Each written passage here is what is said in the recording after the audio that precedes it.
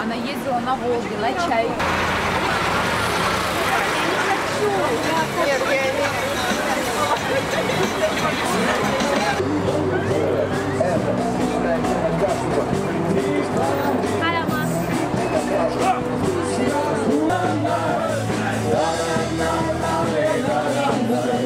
Нет, я не